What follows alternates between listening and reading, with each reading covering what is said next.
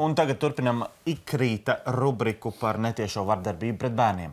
Jā, tā top sadarbībā ar Bērnu Klīniskās universitātes uh, slimnīcas mediķiem. Mēs uh, jā, veidojam šo rubriku. Tā esam devuši nosaukumu netiešā vardarbība, un tās galvenais fokus ir par traumatismu, ar ko bērni saskarās. Šorīt kolēģis Ulds Birziņš sagatavoja stāstu par kādu desmitgadīgu puisi, kurš cieta ceļu satiksmes negadījumā. Pagājis gads kopš avārijas, bet bērnam joprojām jāaiziet rehabilitācijas kurs, jo negadījuma brīdī viņš nebija piesprādzējies. Plašāk skatieties sižetā.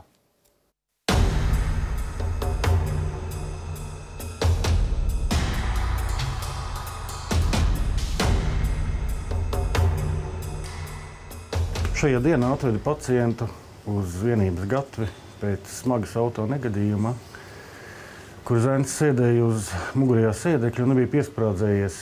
Trieciena rezultātā viņš atdūrās ar galvu pret automašīnas priekšējo stiklu. Slimnīcā desmitgadīgajam puisim tika konstatēts ļoti smagas traumas.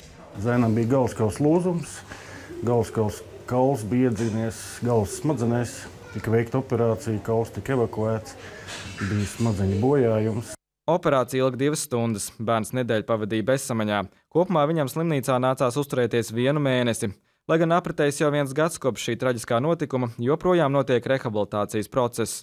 Traumas rezultātā zēnam izveidojās runas traucējumi un labās rokas pareizi.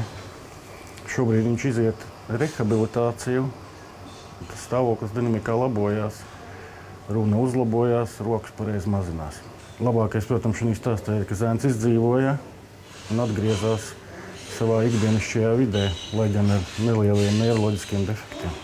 Pēc šādām traumām bērnam sekas nāksies izjust visu atlikušo mūžu. Nekas tāds nenotikt, ja bērns būtu piesprādzēts vecumam atbilstošā sēdeklītī. Diemžēl līdzīgas nelaimes atkārtojas regulāri. Nereti vecāks spriež, man taču jānobrauc 100 metri, nav vērts tērēt laiku bērnu piesprādzēšanai. Kā mēs varam būt droši, ka šajos 100 metros nekas nenotiks? Ja, ja, ja arī šis teiksim, tēvs, māte ievēros noteikumus un, un, un teiksim, nepārkāps neko, tad nav nekādas garantijas, ka kāds cits satiksmes dalībnieks aizdomājies, nezinu, nedod Dievs iemidzes vai nedod Dievs vēl kāds dzērājs šofers var kaut ko izraisīt. Ja, tad jau pēc tam būs par vēlu. Mēģiķa pieredze arī liecina, bieži ļoti nopietnas traumas rodas gadījumos, kad bērns ir paņemts klēpī. Šādā veidā it kā cenšoties aizstāt sēdeklīti.